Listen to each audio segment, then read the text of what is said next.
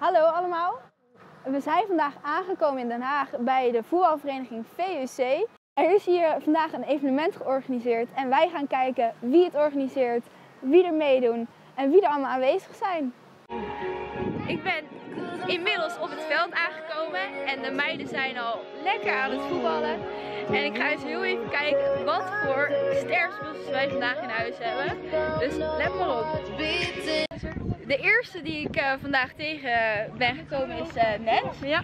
Nens, stel heel eventjes voor, wat doe je hier vandaag? Nou, uh, ik ben Nens van Meer. ik ben hier vandaag met nog een paar andere spelers van ADO.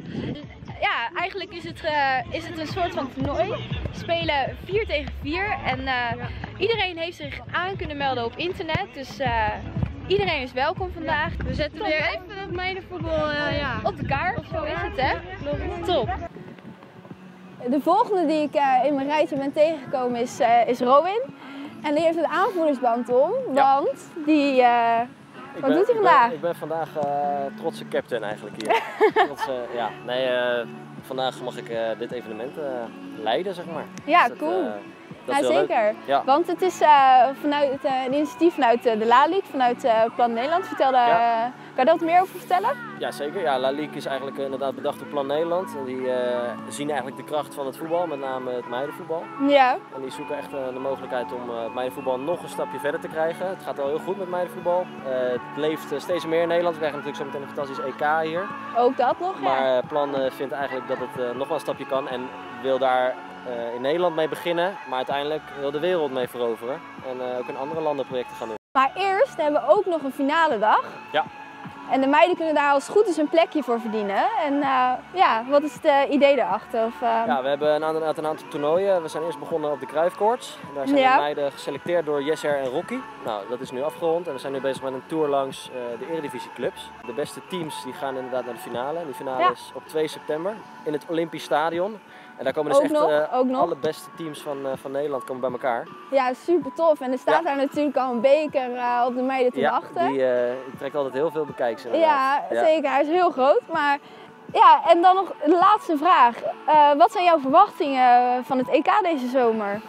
Ja, ik weet wel, ik heb me een beetje ingelezen natuurlijk. Ik weet, ik, ik weet wel dat ze best wel moeilijk hebben gelood. Best wel zwaar.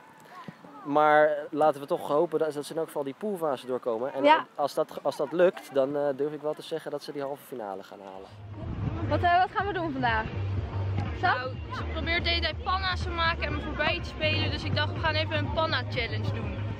Dus de bedoeling is, wie als eerste een panna heeft gegeven aan de ander, die wint. En wij gaan het filmen. Top. Succes! Even hoog houden tussendoor.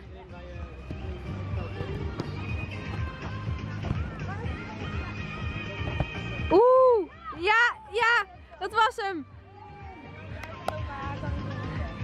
En hier zijn natuurlijk nog meer meiden. Hebben jullie al een beetje gewonnen? Of, uh, Ja, ja. ja? Twee. Ja. Want het is natuurlijk de bedoeling dat jullie uh, je gaan plaatsen natuurlijk voor de finale dag. Ja. ja. En jullie hebben natuurlijk de grote beker al gezien die je daar kan winnen.